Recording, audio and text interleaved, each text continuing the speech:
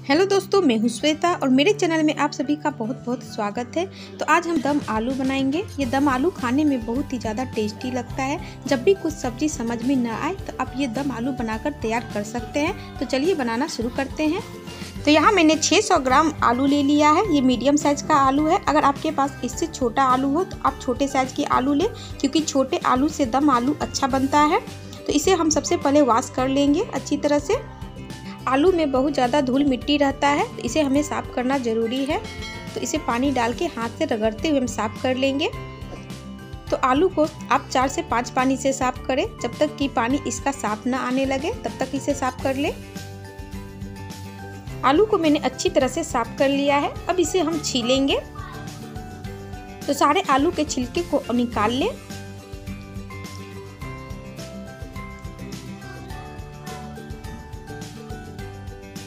तो सभी आलू को मैंने छील लिया है तो इसे एक बार हम फिर से साफ़ कर लेंगे। तो इसमें हम पानी डालेंगे। और हाथ से इस तरह से करते हुए हम आलू को साफ़ कर लेंगे। इसे दूसरे प्लेट में निकाल लेंगे। क्योंकि इसमें अभी हमें होल करना है, इसके बाद हम इसे साफ़ नहीं करेंगे। अब आलू ले, अब फोक की सहायता से इसे होल कर ले। इस तरह से।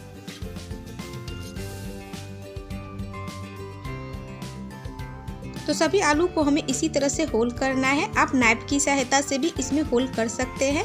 नाइफ से भी ये बहुत अच्छी तरीके से इसमें होल हो जाता है। तो सभी आलू में इसी तरह से होल कर ले। तो इसे हम जब होल करेंगे तो होल करने के बाद इसे हमें नहीं धोना है। नहीं तो ये अंदर तक पानी एब्जॉर्ब कर लेगा और उसके बाद हम इसे जब फ्राई करेंगे तो बहुत ज़्यादा तेल के छींटे आएँगे। तो मैंने यहाँ पे कढ़ाई को गर्म होने के लिए रखा है। इसमें हम तेल डालेंगे। तो यहाँ मैंने सरसों तेल लिया है। सरसों तेल में ये सब्ज़ी ज़्यादा अच्छे बनते हैं। अगर आप सरसों तेल पसंद नहीं करते तो आप कोई भी तेल ले सकते हैं। तो तेल को हम अच्छी तरह से गर्म होने देंगे। तो हमें आलू को फ्राई करना है। इसलिए हम इस समय तेल थोड़ा ज़्यादा लेंगे। तो तेल जब से गर्म हो जाए तो इसमें हम आलू डालेंगे। आलू को हमें 80 परसेंट तक पकाना है और बाकी के हम इसे ग्रेवी में पकाएँगे। तो जब तक ये अच्छी तरह से गोल्डन कलर ना हो जाए, तब तक इसे हमें पकाना है। गोल्डन कलर आने तक इसे हमें पकाते रहना है। आलू को अच्छा गोल्डन कलर आने में कम से कम पाँच मिनट लग जाता है थोड़ा सा टाइम लगता है। और देखिए, यहाँ पे ये अच्छा गोल्डन कलर हो गया है तो इसे हम एक प्लेट में निकाल लेंगे।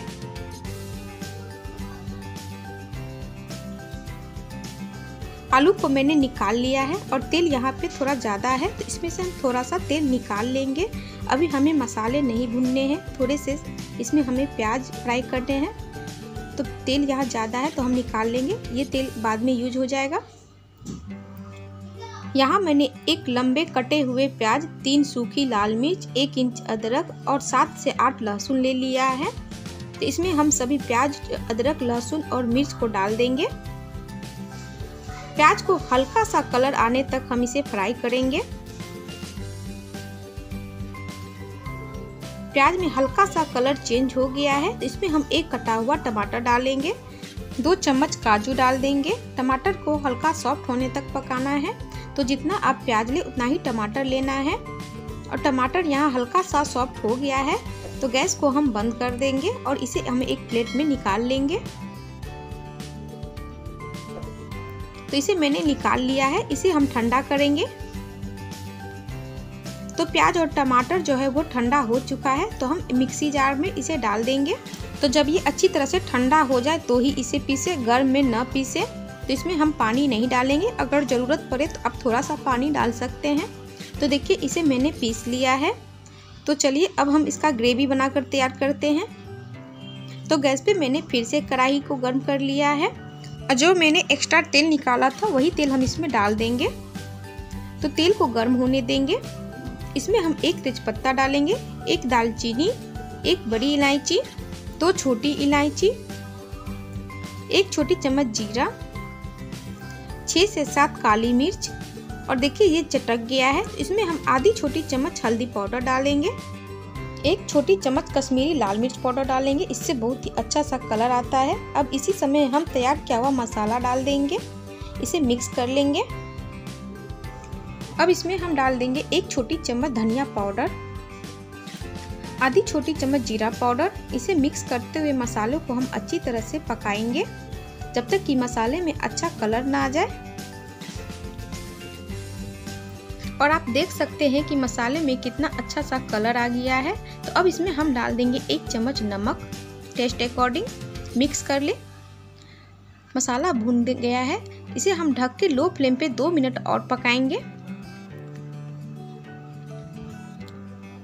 दो मिनट बाद देखिए मसाला में कितना अच्छा प्यारा सा कलर आ गया है। तो मसाला हमारा बिल्कुल रेडी है।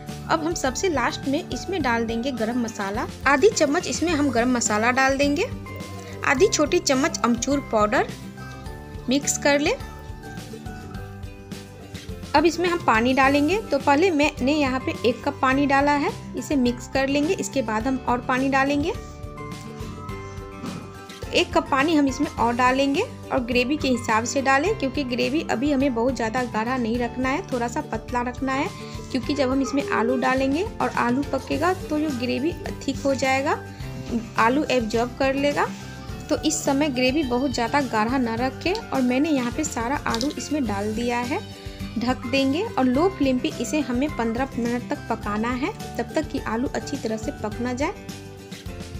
15 मिनट के बाद हम चेक कर लेंगे और आप देख सकते हैं कि ग्रेवी पहले से कितना थिक हो गया है। आलू अच्छी तरह से ग्रेवी को एब्जॉर्ब कर लिया है तो हम पहले एक आलू को चेक करेंगे। तो इस तरह से काट के तो देखिए यहाँ आलू अच्छी तरीके से पक चुका है। अगर आलू नहीं पके अच्छे से तो इसे आप चार से पाँच मिनट और पका लें। गैस को बंद कर देंगे और बारीक कटा हुआ धनिया पत्ता डाल देंगे। और चलिए अब इसे हम सर्व कर लेते हैं।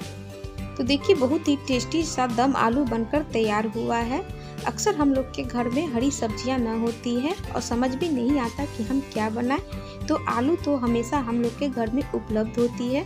तो आप आलू की ये रेसिपी बना कर ट्राई कर सकते हैं। आपको ये रेसिपी ज़रूर पसंद आएगी। वीडियो अच्छी लगी हो तो वीडियो को लाइक और चैनल को सब्सक्राइब करना ना भूलें। फिर मिलेंगे अगली वीडियो के साथ। तब तक के लिए बाय बाय धन्यवाद।